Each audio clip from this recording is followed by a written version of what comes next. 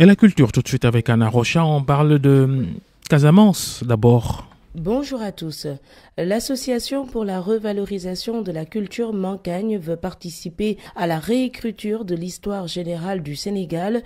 Le Poukoumel mène des réflexions dans ce sens.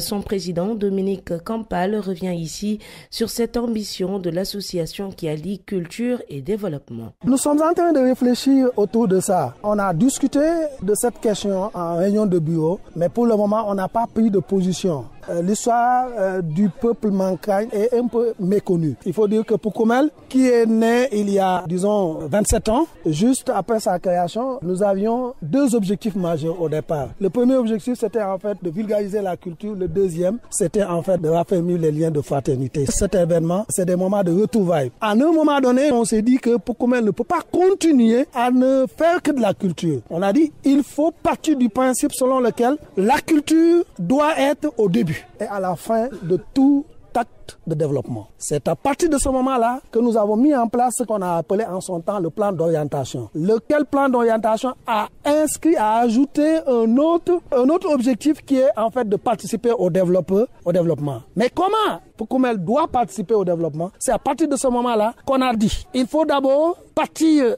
de la langue qui est le véhicule de la culture codifiée et par conséquent devenir une langue nationale. Ça nous a permis de mettre en place pendant plus de dix ans des programmes d'alphabétisation ici au Sénégal, en Gambie et en Guinée-Bissau. Dominique Campal s'exprimait au micro de Max Confani en marge de la première édition du pèlerinage Mancagne de Temento. À Dakar, l'édition 2020 du festival Film Femmes Afrique se poursuit. Hier après-midi, séance de projection des courts-métrages de fiction en compétition. Fatou Ndaoumbaye y était pour nous. Pour la quatrième journée du festival Film Femmes Afrique, le public continue de répondre présent. Quatre films de court-métrage en compétition étaient au rendez-vous.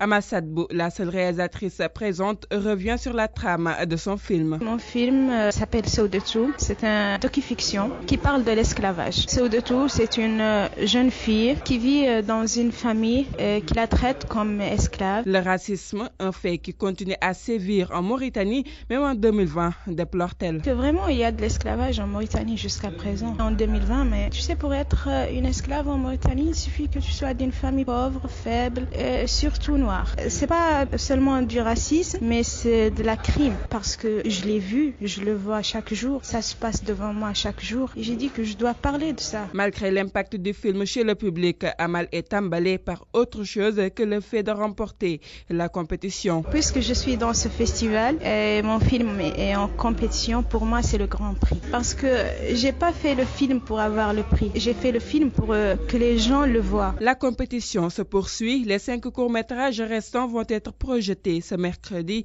en attendant le délibéré du jury. Merci d'avoir suivi. À demain pour d'autres actualités culturelles dans RFM Matin.